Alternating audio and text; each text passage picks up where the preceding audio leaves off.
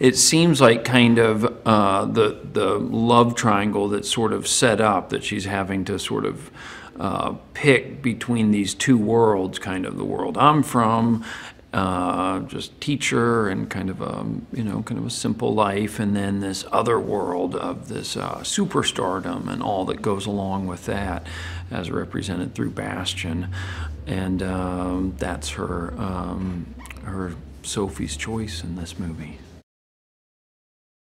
You can't imagine anyone but Jennifer Lopez playing this part just because it seems so perfect for her skill set. And just the other day, we're doing a scene where she's, you know, dancing with uh, with my students and uh, kind of leading them through some choreography.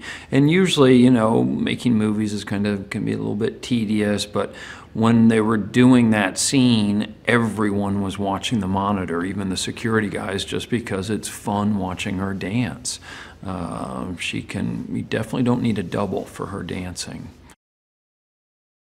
In some ways, um, you know, Charlie being a math teacher, I cannot tell you that math was my best subject. In fact, it might have been my worst subject and might have even kept me from graduating from college because I could never get my math credit.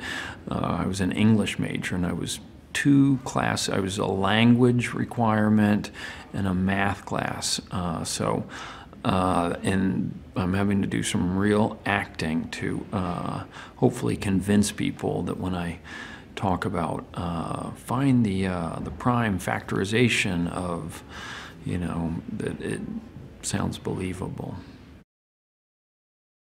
Kat Coiro, the director, she sent me the script and we had some great conversations and she kind of saw me playing the part and kind of told me how it would work and um, and so then I didn't really know her but in getting to know her during the course of the movie and even kind of working on you know rehearsing before we started she just brings kind of a great energy and enthusiasm and also just kind of good um, you know, as a director, you're making a million decisions, and I just feel that the stuff that she's telling me to do, uh, or her ideas for Charlie Gilbert, I usually feel are right on target. So it's been a good process.